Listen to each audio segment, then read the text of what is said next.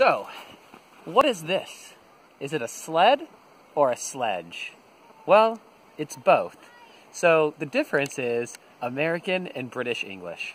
In American English, we say sled. I've said the word sled for this sort of thing since I was a kid. But in Britain, they say sledge. So, depending on where you are, use sled or sledge, and yeah, have fun. See you next time.